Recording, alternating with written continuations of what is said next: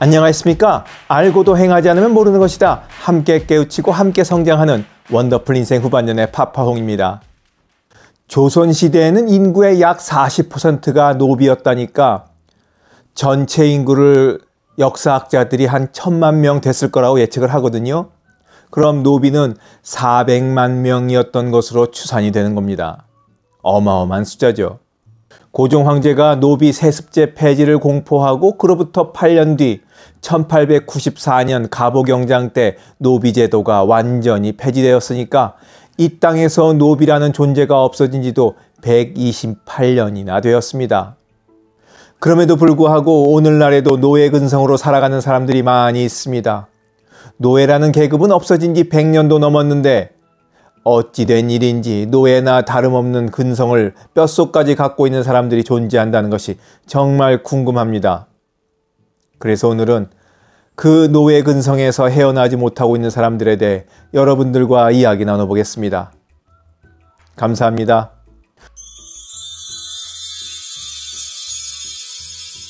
노예 근성이란 사전적으로 이야기하자면 강압적인 힘에 눌려서 시키는 대로 순응하고 따르는 것을 말합니다. 또한 말 그대로 자유가 주어졌거나 또 자유를 쟁취할 수 있는 상황에서도 그저 자리에 주저앉아 아무것도 하지 않고 노예 상태를 받아들이고 그것에 만족하는 정신 상태를 가리키는 것이기도 합니다. 노예 그러면 여러분들은 어떤 모습이 떠오르시나요? 노예는 주인이나 관리자가 얘기할 때 눈도 마주치지 못하고 굽신굽신 땅을 쳐다보며 예 아니오만으로 대답을 합니다. 말이 길어지면 주인이 짜증을 낼 수도 있고 괜히 화를 돋구었다가는 매질만 있을 뿐이기 때문이죠. 의견은 낼 수도 없을 뿐만 아니라 질문조차 하기 어렵습니다. 가만히 있으면 중간 간다는 말도 어쩌면 노예 근성이 반영된 표현일 수도 있겠다 싶습니다. 괜히 이것저것 자기 의견이랍시고 말 많이 하고 질문해대고 남의 눈에 튀게 옷 입고 행동했다가 피해를 보는 사람에게 비아냥거리며 하는 말이지 않습니까? 아, 저 새끼 그냥 가만히 있으면 중간에 갈 걸. 이거 군대 가서나 중고등학교 때 많이 겪어봤죠. 한 사람 때문에 단체 기합받고 그럴 때 말입니다. 자, 지금부터 우리 안에 또아리를 틀고 앉아 있을지도 모를 그 노예 근성에 대해 여러분과 함께 하나하나 짚어보도록 하겠습니다. 노예 근성에 젖어 사는 사람들의 특징. 첫 번째, 약자에게만 강하다. 마름이라는 것이 있었습니다. 지주를 대신해서 소작지의 관리를 위임받아 관리했던 마름을 우리는 종종 사극에서 보게 됩니다. 마름은 소작인의 선정과 변경, 작황조사, 소장녀 징수와 보관이 주된 역할이었는데 자신의 이런 권한을 이용해서 여러 악행을 저지르는 인물로 주로 묘사됩니다. 아, 실제로 그랬으니까 그렇게 묘사가 되겠죠.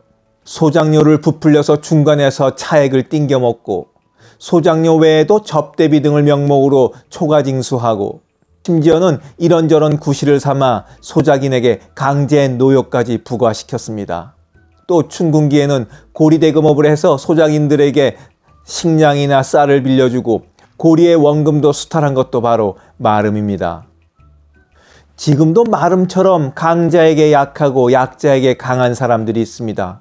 직장에서 갑질하는 중간 관리자들이 그렇고 우리 주변에서 마주치는 서비스 업종의 사람들에게 무례하게 행동하는 사람들이 그렇습니다. 왜 몰카 제국의 황제라고 이름 붙여진 웹하드 업체 사장 양진호라고 기억하세요? 몇 년 전 굉장히 시끄러웠죠. 온갖 엽기 행각과 폭행 등으로 지금은 감옥에 갇혀 있을 겁니다. 그런데 저는 양진호만큼이나 나쁜 놈들은 머리에 형형색색 물들이고 옆에 보좌하던 임원들이나 간부들이라고 생각합니다. 양진호 사장 몹쓸 짓 할 때 분위기 띄워주고 직원 폭행할 때도 낄낄거리면서 영상으로 기록하던 사람들이 바로 그 놈들입니다. 조선시대 마름 같은 놈들이죠. 자신보다 약한 사람은 마구 대해도 좋은 대상이 아니라 자신과 동등한 인격체로 대하고 더 나아가 보호해줘야 할 사람입니다. 사람에 따라서 여러분들의 태도와 행동이 바뀌시나요? 그러면 노예 근성이 있는 겁니다. 노예 근성에 젖어 있는 사람들의 특징 두 번째, 질문만 하고 행동하지 않는다. 제가 부부관계에 대한 이야기를 많이 하다 보니 댓글에 여러 글이 달립니다. 배우자의 거친 행동 때문에 수십 년간 마음고생하고 있다며 어떻게 했으면 좋겠냐는 질문이 아주 많이 달리죠. 이와는 반대로 지옥 같은 결혼 생활을 끝내고 처음에는 자립하느라 많이 힘들었고 고생했지만 지금은 혼자서 너무 행복하게 잘 살고 있다는 글도 있습니다. 2, 30년 동안 매일같이 똑같은 일을 당하고 살았으면서도 어떻게 했으면 좋겠냐고 질문하시는 분들에게는 세상 어느 누가 답을 알려준다 해도 그분은 결코 하지 않을 겁니다. 그러면서도 또 누군가에게 어떻게 했으면 좋겠냐고 질문만 할 것이 뻔하죠. 벗어나야 한다는 것은 알고 있지만 학습된 무기력으로 인해서 그저 하소연하는 것으로 위안을 삼는 분들입니다. 노예 근성을 말할 때 항상 같이 나오는 말이 학습된 무기력입니다. 피할 수 없거나 극복할 수 없는 환경을 자주 반복적으로 경험하다 보니 실제로 자신의 능력으로 피할 수 있거나 극복할 수 있음에도 불구하고 스스로 그러한 상황에서 자포자기하는 것을 말합니다. 자기 힘으로 극복할 수 있는데 그걸 안 하고 그냥 자포자기 한다는 말씀이죠. 학습된 무기력을 표현할 때 자주 인용되는 시가 있습니다. 가정폭력 생존자인 콜레트 켈리가 쓴 저는 오늘 꽃을 받았어요 라는 시입니다. 시 전체를 읽어드리기에는 좀 길어서 한 구절만 읽어보겠습니다. 학습된 무기력을 아주 잘 표현한 대목입니다.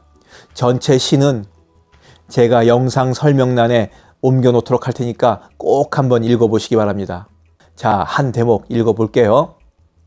제가 그를 떠나면 저는 어떻게 될까요? 어떻게 아이들을 돌보죠? 돈은 어떻게 하고요? 저는 그가 무서운데 떠나기도 두려워요. 그렇지만 그는 틀림없이 미안해 할 거예요. 왜냐하면 오늘 저에게 꽃을 보냈거든요. 노예 근성에 젖어 사는 사람들의 특징 세 번째, 과하게 예의를 표시한다. 상대방이 과하게 친절해서 되레 불쾌하고 눈살이 찌푸려질 정도로 불편해했던 경험 없으세요? 저는 90도로 인사하는 것과 손님 커피 나오셨어요 하는 것처럼 물건에까지 존대를 마구 붙여대는 것을 꼽을 수 있겠습니다. 지나친 겸손과 공손, 과한 친절은 예의가 아닙니다. 예의 없는 말이나 행동을 들었을 때 불쾌하지만 지나친 공손과 과한 친절을 마주했을 때도 불쾌해집니다. 청년들이 선배나 어른에게 또 회사에서 임원이나 사장에게 90도 인사를 하는 것을 보게 되는데 대체 언제부터 우리나라 인사법이 이렇게 굴욕적으로 바뀌었는지 참으로 한심하기 그지없습니다. 조폭 깡패들이나 하던 인사였지 않습니까? 조폭들의 90도 인사법은 상대방에 대한 존중심을 표현하는 것이 아니라 복종을 드러내는 것인데 조폭 문화가 일반인들에게까지 퍼져나가 너도 나도 90도 인사를 해야 예의를 갖춘 것으로 생각하고 또 아랫사람이 90도 인사를 해야 제대로 했다고 생각하는 윗사람들도 있습니다.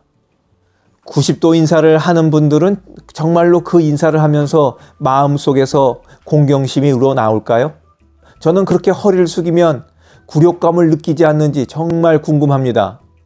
제발 그렇게 인사도 하지 말고 받지도 마시자고요. 그리고 표현도 적당히 알맞게들 하시고요.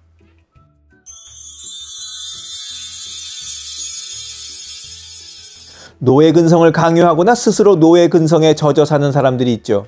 길이 있음에도 힘들 거라는 생각에 가지 못하고 주저앉아 남이 어떻게 해주기만을 바라는 사람들은 물론이고 힘이 있어서 약한 사람들에게 노예 같은 행동과 사고방식을 강요하고 심어주는 사람도 넓은 의미에서 노예 근성이 있는 것이 아닐까 생각합니다. 오늘 하루 우리 안에 있을지도 모를 노예 근성을 찾아보는 하루가 되길 바라면서 이야기 마치도록 하겠습니다. 원더풀 인생 후반전에 멋지게 나이 먹기는 계속됩니다. 감사합니다. 하루를 충만하게 살아가는 좋은 사람들이 모여있는 곳이 있습니다. 바로 지난 3월 5일에 문을 연 실버들의 전성시대 네이버 카페입니다. 서로를 격려하고 응원해주는 넓은 마음과 나와 다른 생각을 지닌 사람까지 포용할 수 있는 열린 마음을 갖고 계시다면 실버들의 전성시대에 가입하시기 바랍니다. 댓글란 맨 위에 적어놓은 링크를 누르시면 가입할 수 있습니다. 아주 쉬워요.